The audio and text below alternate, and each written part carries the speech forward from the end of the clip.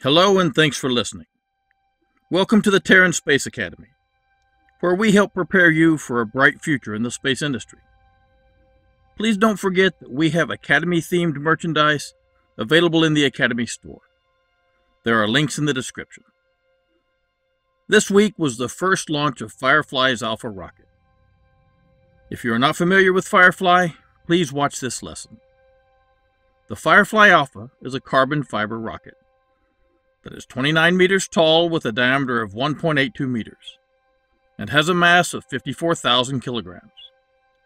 It is a two-stage RP-1 fueled rocket that uses four Reaver 1 engines with a total thrust of 736 kilonewtons on the first stage and one Lightning engine with a thrust of 70 kilonewtons on the second stage. The specific impulse of the first stage is about 296 seconds, and the second stage is 322 seconds. This rocket should be able to put about 1,000 kilograms into low Earth orbit.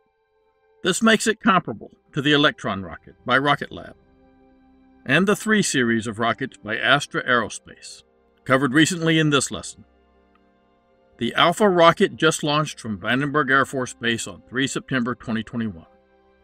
I have fond memories of Vandenberg, having spent quite some time there myself.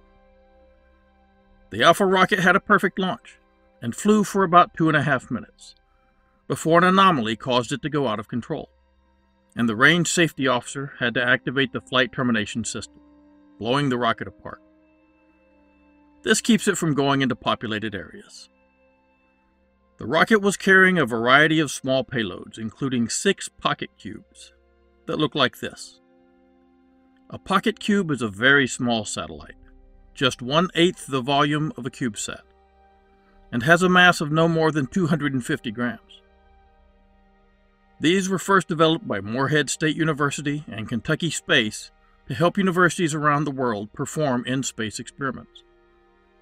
These six PocketQubes would have been deployed by a Picobus, seen here. The rocket was also carrying Spinnaker 3. This satellite had an 18 square meter drag sail.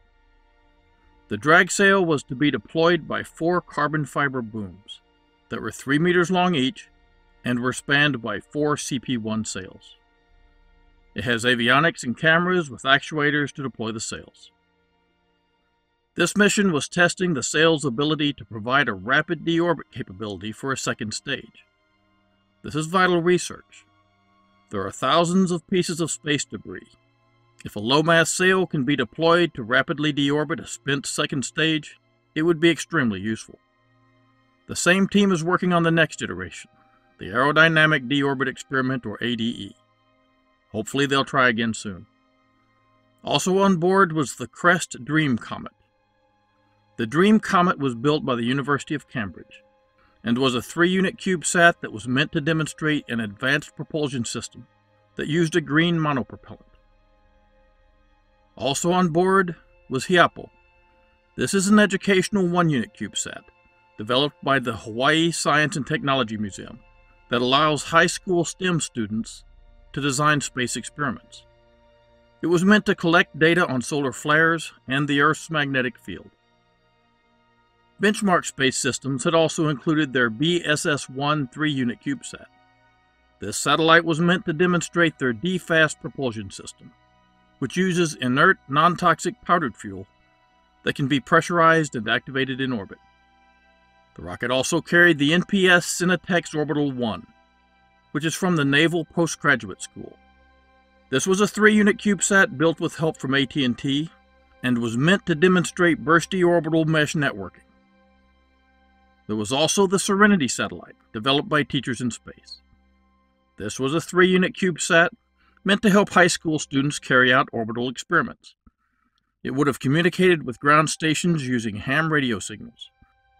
Ham radio is a high frequency amateur radio system, reserved for general public non commercial use. Finally, there was Firefly Capsule 1, which carried children's photos and artwork from around the world. All of these experiments were aboard for the maiden flight of this rocket system. I wish it had made it to orbit.